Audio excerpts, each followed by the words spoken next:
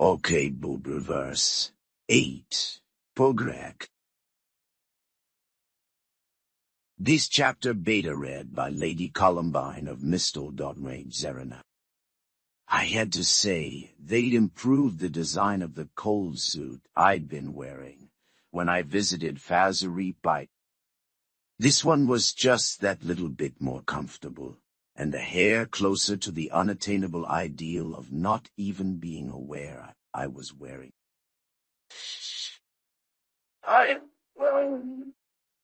Also, they'd fixed the issue I'd had last time of not being able to reseal properly after venting heat.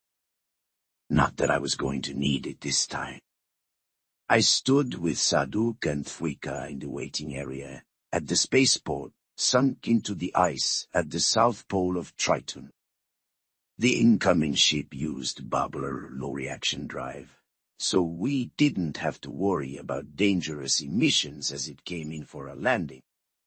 For a change of pace, I was in the cold suit, while Saduk and Thwika were dressed appropriately for the climate. That is, decorative sashes. The design of the spaceport was deliberate.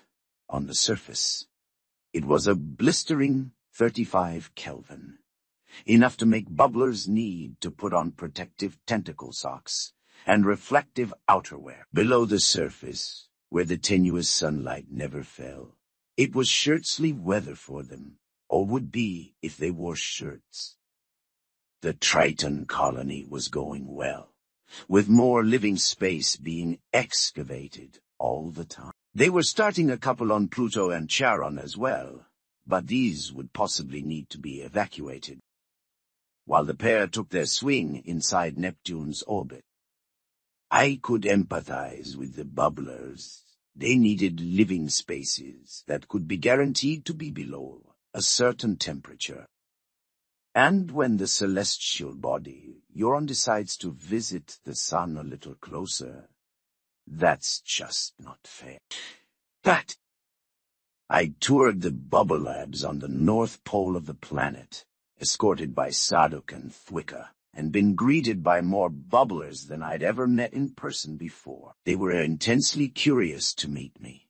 My level of celebrity on Fazireep was apparently quite impressive and I ended up signing plushies, models of the distant knowledge and jovial Diveri, and at least one lab report. The colony included families, because bubblers are just as social as we are.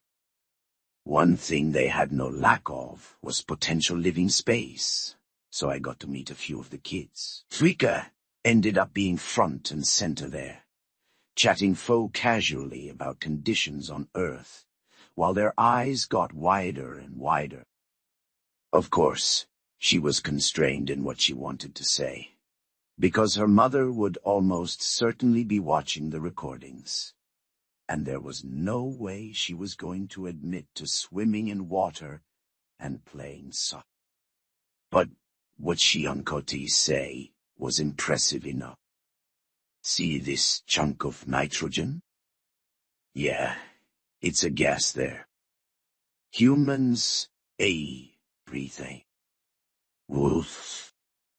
But all, but all that had been the prelude to the big show, which was why we were waiting at the spaceport. The incoming ship was a diplomatic transport from the Tanarak homeworld, bringing the equal above all cute title, I thought and absolutely Tanarak, and his kid Pograk, a boy as I understood things.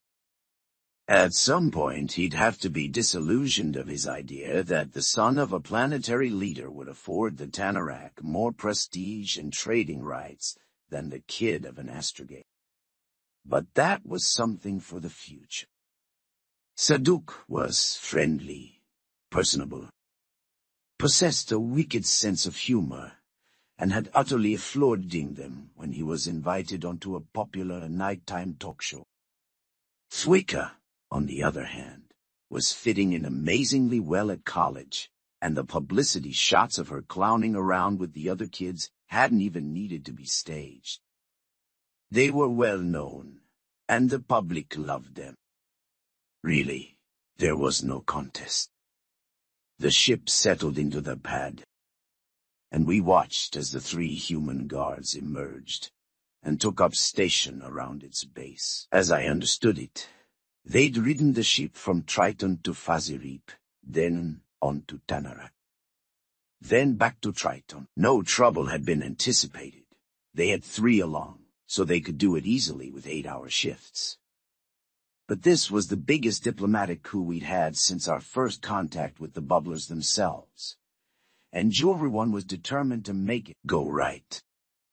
The presence of humans on board, especially since the bubblers had gleefully broadcast our capabilities to all their galactic acquaintances, was basically an ironclad guarantee that nobody would mess with the ship. Next out were the three bubbler guards.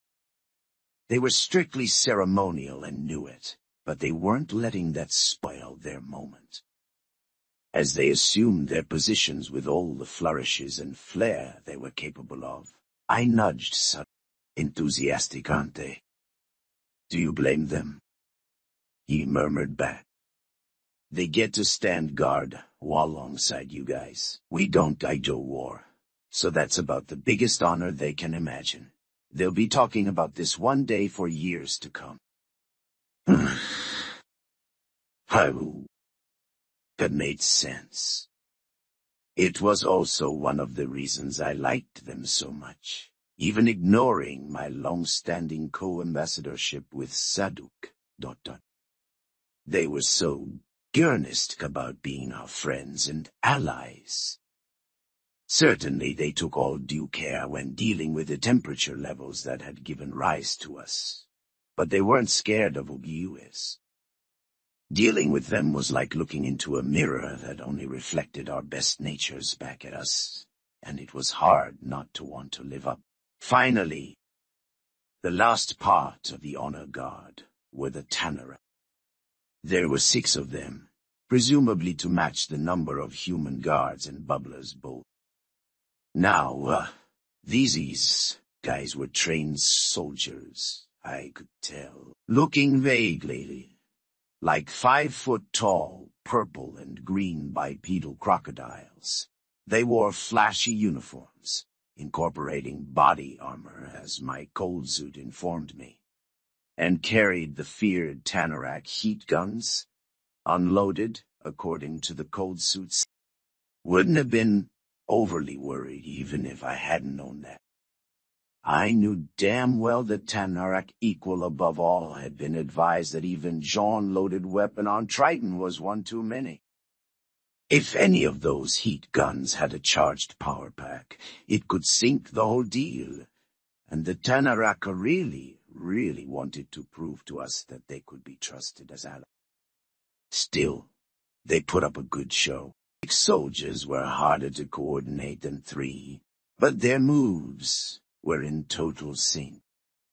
After a certain amount of step, backstep, tail sweep, flourish, they snapped into position in two rows of three, flanking the bubbler guards. After that, the equal above all emerged, with his kid following one pace behind and to the side. They were dressed in the equivalent of heavy coats. This made sense, given that their comfortable temperature range started where bubblers left off. I heard Thwika make a quiet but amazingly realistic snorting noise, which was kind of impressive given that bubbler evolution hadn't blessed her with a nose. Oh, she murmured. This is his son's day, and he's, he's still making it all about himself. She had a point there, but the pecking order had to be maintained. In any case, diplomats gotta do diplomacy, and that was me and Saduk. We moved forward, with Thwika between us. Greetings, equal above all, Saduk said. You know who I am, and you're probably aware of Lieutenant Hernandez's identity. I was damn sure they knew who I was. Saduk had introduced me to the equal above all's predecessor in office, the much more martially titled Commander Prime Ultra, the sight of me pouring water over my head, and the news that humanity had access to FTL tech had caused the entire T Conquest Fleet to advance to the rear, to borrow a time-honored phrase, and restrict their expeditionary crews to Tanarak space. My face may have been even better known by the Tanarak than by the Bub. I know of you both. The Tanarak High Commander acknowledged stiffly. His translator-transmitter was set to a gravelly tone that had to be a deliberate attempt to impress us. I got the impression that Tanarak society taught them from infancy onward that they were better than everyone else. As conquest-oriented cultures throughout human history had learned. It was a hard attitude to shake. Still, he was making an effort, and that was a good thing. This is my male offspring. His title is long and illustrious, but I was advised that names need to be kept short and simple, so he may be referred to as Pograk. Understood, Saduk said. Greetings, Pograk. Daughter. This is my daughter, for ease of communication. She goes by the name Thwika. She will be showing you around the school once we get back to Earth, and helping you settle in. My read on Tanarak body language wasn't as comprehensive as it was with Bubblers. But to my eye, Pograk didn't seem to know what to say or do. Either his father hadn't given him any lines, or he'd forgotten the ones he'd been coached in. He just stood there and stared at us. Which put us at an impasse. If either I or Saduk stepped forward, it could be seen as a threat against the person of the equal above all, and his guards could get hurt trying to protect him. While we couldn't just stand there all day. Fortunately, Thwika took the initiative and broke the stalemate. Hypograk, she said, waving her tentacles in a friendly manner. Come on, I'll show you around the colony while they're refueling the ship. Pograk hesitated, then came forward. Greetings, Thwika, he said. He didn't have quite the gravelly tones of his sire, but he was getting there. I would like to see your colony. From the way he said the words, I got the impression of a person who'd had the concept of friendly carefully explained to him, out of a dictionary by someone who wasn't quite sure what it meant either. Excellent, Thwika said, as Saduk and I stood aside, before he could object or resist. She grabbed him by one thick-fingered paw. Dot E. Till you see the sunrise room. They project an image of the rising sun on the wall, so you can watch it without actually standing in sunlight. But that's nothing compared to her voice faded into the distance as she more or less dragged him along. One of the Tanarak guards moved briskly to follow, with a bubbler guard following suit as well. Saduk and I shared a glance. Well, a thing happened, he said. Is, is your offspring always so volatile? asked the equal above all, looking a little surprised. And so uncaring of protocol. Saduk chuckled, and indicated me with one of his prosthetic tentacles.